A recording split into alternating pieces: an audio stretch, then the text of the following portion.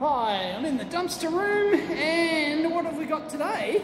I showed this the other day on Twitter. It's just an old uh, Studio Rack S4 um, like Firewire interface thing, nothing burger. But what turned up today is this APC Smart UPS. I have found these before over the years. Um, it probably works, but it's probably got like dead batteries in it. They usually got lead acid batteries in them, I think.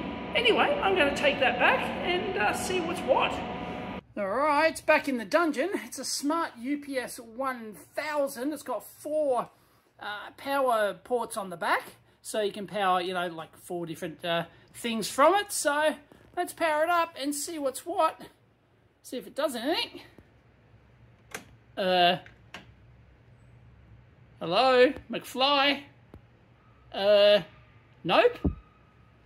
Nope. Uh, power switch is turned on. Still nothing. So, um, is there a switch on the back? I haven't switched. I haven't flicked. No, there's just a circuit breaker by the looks of it. I can't read that because I didn't don't have my glasses at the moment. Um, and it's got the uh, RS232, of course. And, uh, well, that should have switched on, right? Well, I've opened it up. Check out that big-ass transformer.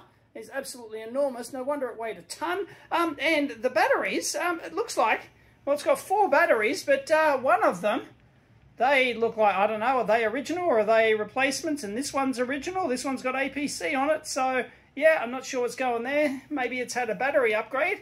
Um, here's the board. Looks pretty clean.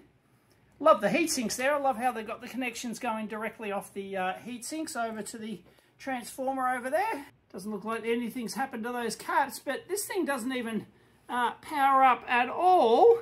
So, I'm not sure what the deal is. There's the four ports on the back, and I don't see, there's a couple of components missing there. I don't see a fuse on board, though. Um, anyway, I'm not going to troubleshoot this now, but, uh, yeah, I don't know. These batteries are almost certainly deadly. Are they bulging? Is that like a normal... That, I don't know. Is that normal? They're all bulging in the same spot. Possibly that's... Uh, that's normal, but it's had a battery replacement or upgrade at some point. But yeah, I don't know. Um, doesn't even power on. Uh, it's not a fused IEC inlet. Busted resettable circuit breaker maybe. Anyway, not going to debug it. Um, lots of comments down below. Is it worth even uh, spending any time on? Catch you next time.